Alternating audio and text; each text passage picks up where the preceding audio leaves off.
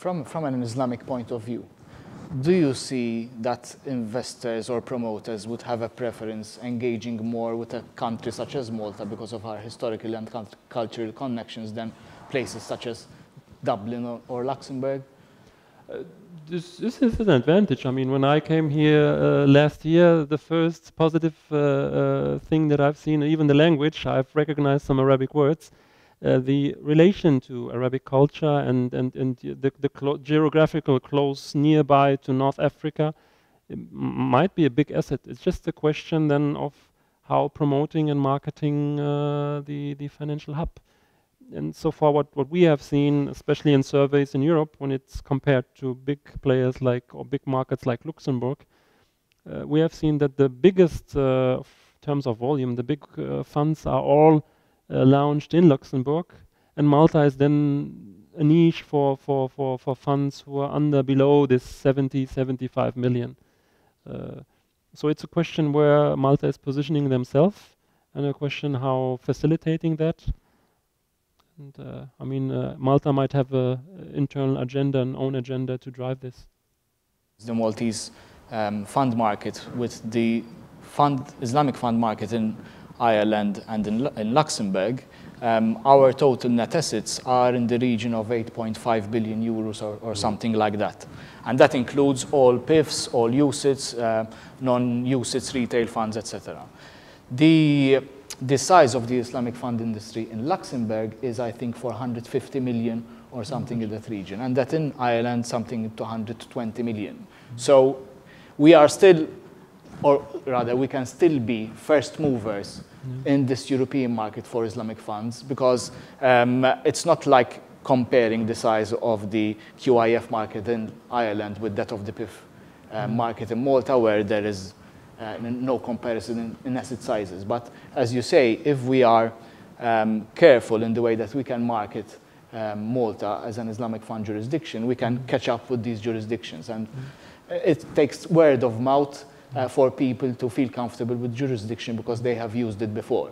So it's important that we try and find a way to get the first Islamic fund licensed in Malta as soon as possible. Something else which may help that um, is that Malta has been very successful in attracting fund platforms, and that means that promoters set up their typically their SICAV vehicle, and they will set up sub-funds under that vehicle uh, for different promoters. Um, I used to be under the incorrect impression that when we talk about Islamic funds, you can only have a SICAV, which is Islamic, it's ring-fenced, and all that that SICAV does is Islamic-based, which is not the case, in fact, because you can have a standard, normal, non-Sharia compliant SICAV, which can launch a Sharia compliant sub-fund, even though it's just a class of shares of the same person. And that perhaps can create new opportunities for people who have set up platforms in Malta to start considering exploring um, uh, attracting um, uh, Islamic promoters to Malta. The problem there I see is that um, twofold. Number one, because of the restricted investment universe for investment for Islamic funds, mm-hmm. you are restricting your chances of getting good returns. Two, you add an extra layer of expenses because of the Sharia boards that you have to have for that, um, uh, for that particular sub-fund. And that means that if you cannot generate good returns, no investor will put his money into that fund. Your cost ratios then go, go so you're adding, you're adding more cost on a smaller fund size, which uh, will drag down the NAV on, in, your, in your fund. Yeah.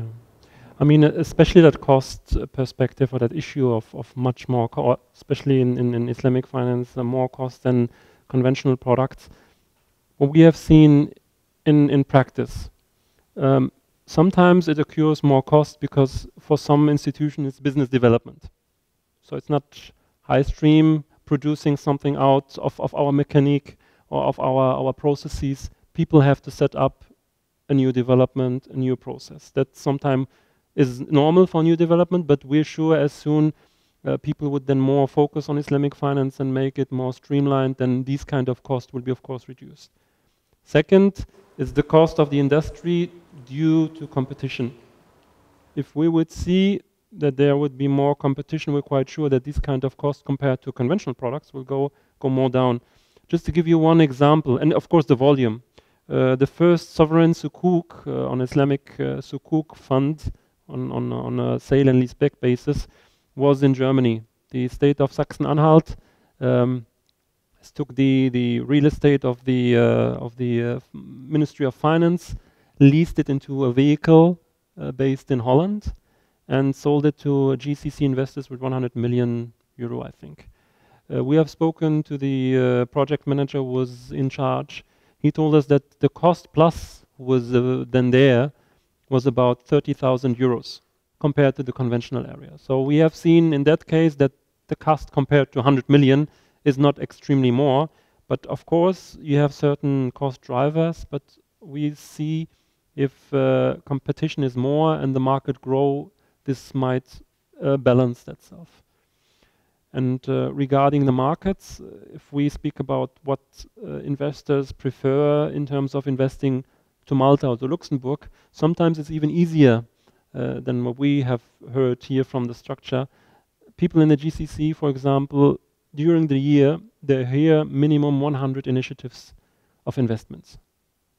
So a lot of people are coming to that country, especially in, in, in, in booming phases, uh, I heard the, minister, or the, the, the, government of Algiers, for example, has received minimum 15 visits from investment banks to sell them any kind of fancy products. So what I would try to say, people want to see something which has a brand, which has a quality, and when you tell them it's a SICAV fund or UCITS fund, then they recognize that, okay, then it's fine. So as soon Malta can put themselves into a position in terms of uh, getting visible, furthermore, I see the advantage here, uh, compared to Luxembourg, for example, when you've seen ETF, uh, ETF funds over there from HSBC. They're listed there, but actually no one is really promoting it actively because the, the, the owner of that funds are not in Luxembourg or somewhere in Germany or somewhere else in London. And due to any reputational issues or feelings, they're not promoting it actively. I see advantage here. If a fund is listed here, it's no problem to promote it and to marketing it without any concerns since you're quite close here to the uh, Islamic uh, regions, it will be much, much easier than having a fund in Luxembourg, being uh, France or German uh, asset manager and try to sell it somewhere over there. So you gave a positive uh, feeling uh, fee because it is listed. Now most of these regulated funds are not listed. Yeah. There's, there's no particular advantage from our perspective. From a, an Islamic investor point of view, yeah. would a listing actually create the attractiveness of a fund, yeah. uh, which is already a, an Islamic fund. I mean, you have you have two kind of of of, of uh, possibilities of of listings or of of launching that kind of funds, and this is actually not uh, Islamic specific part. This is then more an investor preference, especially in that region.